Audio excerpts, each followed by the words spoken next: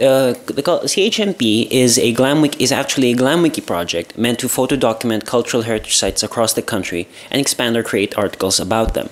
Uh, it was it's meant uh, as a continuation of the uh, to uh, to expand the list of cultural properties created uh, or expanded upon back during the 2012 and 2013 editions of Wiki Loves Monuments Philippines edition. Okay. Now, uh, the idea for this originated uh, during the 2013 Bohol earthquake, in which uh, uh, resulted in the destruction of several cult major cultural properties, such as churches with a number of ceiling paintings that had been destroyed, and yet, surprisingly, none of those paintings or architectures were ever recorded prior to that. So, the, uh, the solution was made uh, in 2014. We began a uh, screening process and of, of, interested volunteers. So one major requirement, of course, that we had to have all of the volunteers was that they had to have a Wikipedia account. Sorry, because uh, because the aim of this project is a lot of the data we put on is all going to go straight to Wikipedia. Okay, right. Now the CHMP activities, and this is where I was referring to, we have long haul deployments, editathons, and wiki expeditions.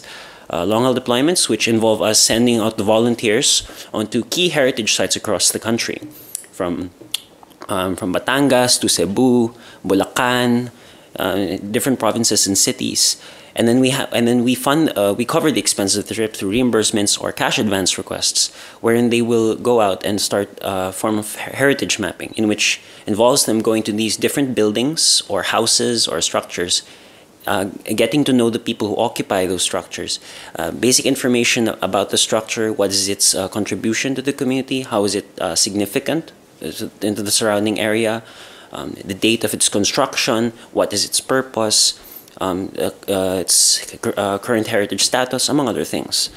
Uh, editathons, as already has already been explained, in which we have the volunteers congregate in certain areas and begin um, the process of uploading their data.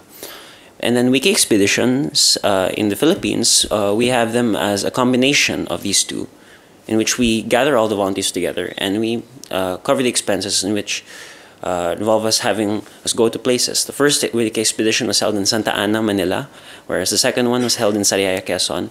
And uh, we received um, a lot of public support from local governments and non-government organizations who agreed to um, not finance our trip there, but to provide support and internet access by virtue of Smart SIM. The tools we used were English Wikipedia, Wikimedia Commons, Wikilabs, and the share-alike uh, um, what was it? Yeah, a share-alike program. How much time do I have left? Two minutes. Okay, I'll speed it up. All right. Anyway, this is just three slides. All right, so objectives, abstract requirements. To cultivate among our people an interest in preserving cultural properties all over the country through mapping activities in key heritage sites.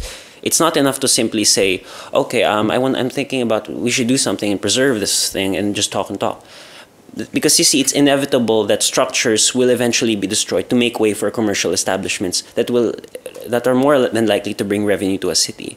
We cannot stop that. So our objective is to make sure that we need to photo document all of these sites as much as possible, and then give them the chance to be seen by other people the, around the world. And so we can just say, by the way, this place actually existed, even though it's not even there anymore. And our target requirements, uh, we need at least 1,000 unique edits uh, and created articles. Um, it, um, since we have about 20 certified volunteers. As of April 2015, we have achieved double that number.